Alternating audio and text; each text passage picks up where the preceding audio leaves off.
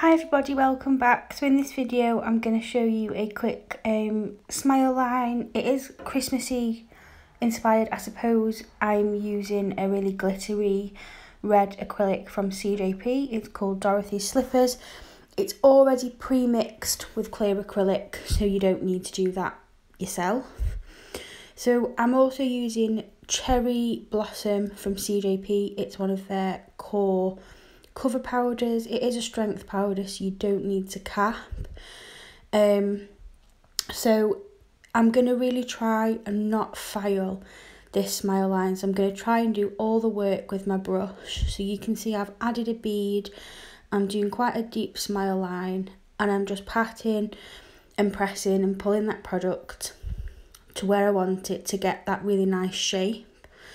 And then I'll go in with a second bead just now place that just at the cuticle area, blend side to side and then just pull that down. I'm not too worried at the moment about an apex. Um, if I was working on a client, I would probably cap the whole thing in crystal glass. Um, but as you can see, I'm just adding a little bead there of the cherry blossom just for coverage um, so it's a nice solid colour. And then I'm coming in with the CJP Dorothy slipper. So you can see it's a really beautiful red glittery acrylic. It's lovely. And I'm pushing that product right into the wings and I'm really trying to keep the smile line crisp. So I'm not filing it so you can see I'm just arguing with a piece of glitter there and then I'm adding a little bit more product on just because I did dig my brush um into that acrylic and it wasn't quite set. So I've just hidden that um mark in the acrylic.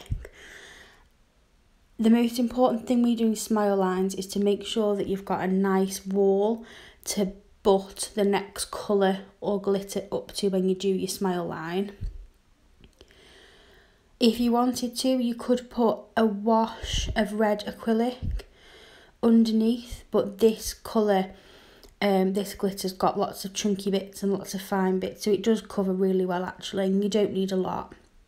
So I'm just patting and pressing it into place as you can see, and I'm just showing you there um, that the red is much thinner than the wall of the cherry blossom. So now I'm capping in crystal glass to protect that glitter from when we fail. This video is in double time, so this isn't me working at this speed. I don't work at this speed. Um,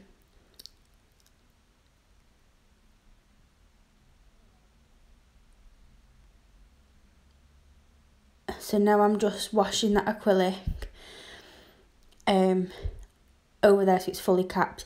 You know that all your glitter's capped once your um, glitter goes matte. And then once you've filed, you're then going to top coat. I'm using CJP Tack Free Top Coat.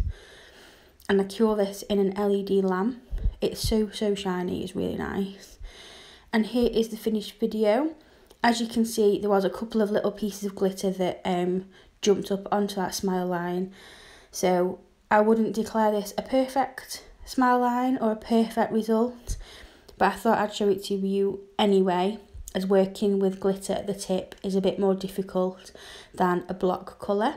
I hope you've enjoyed this video and I'll see you in the next one. Bye!